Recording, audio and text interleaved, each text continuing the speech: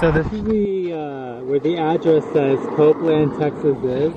It's very small, not much is going on here. Uh, there is a try and watch sign over there, so I guess the community is still strong, but this is pretty much the community.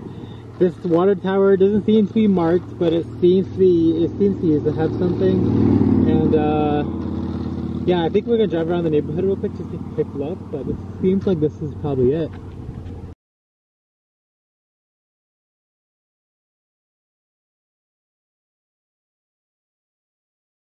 So there seems to be some kind of electrical system here. I don't know what to call that. I think that's like a power source.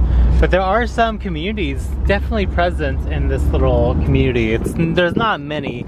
And we're in Smith County and it looks somewhat, it looks like Christianity is somewhat of a presence here since I have seen multiple uh, verses of the Bible. But that house looks really lovely and those trees are really pretty. But yeah, I will say that Copeland is very small. Not seeing a lot. So it's very peaceful, very quiet, very quaint.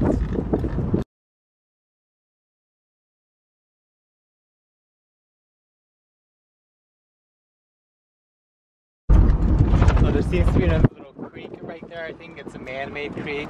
But uh, my final thoughts the only thing I could find online about Copeland, Texas, Smith County, is that it exists and that's it. According to TSH, TSH Texas Online Inventory website, they do register Copeland as a community and that's why it is here today. So,